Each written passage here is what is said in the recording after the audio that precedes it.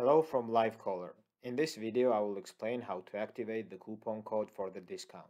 After registering on the website, go to the billing page. Press Upgrade Now. On this page make sure that monthly package is selected.